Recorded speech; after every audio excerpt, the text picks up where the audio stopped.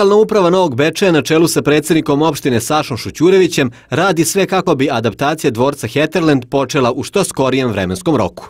Ovde s obzirom na postupke koji se vode oko e, ugovora za izvođenje radova na adaptaciji dvorca Heterland, jedini način kako mi to vidimo jeste da se izvrši e, stvaran presek stanja radova, e, e, oni koji su do sada urađeni i izvedeni, da se utvrdi e, tačna vrsta i količina radova koji su potrebni da se urade da bi se e, adaptacija ovog dvorca e, privela kraju, da se proceni njih njihova vrednost, odnosno da se uradi nov predmer i predračun potrebnih i neophodnih radova za završetak e, ovog gradilišta.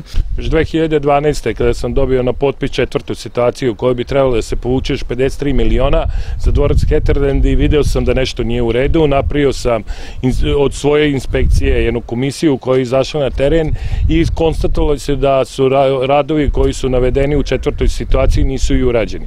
Sprovali smo sledeće radnje, pokušali smo sa izvođača radova i fonda da dođemo do rešenja, ali nismo uspeli. 2014. smo pokrenuli predkrivičnu, odnosno podneli smo krivičnu tužbu protiv izvođača radova, da vidimo kako da će se rešiti problem. Nismo došli do rešenja, nikad se nije potpisao aneks ugovora, fond nam nije nikad ponudio zvaničan aneks ugovora kako bi mogli da rešimo ovaj problem. Lokalna samouprava Novi Bečej misli svakako da je potrebno pre svega podvući trenutno stanje i da se raspiše nova nabavka i jedino tako ovaj dvorac može da se završi.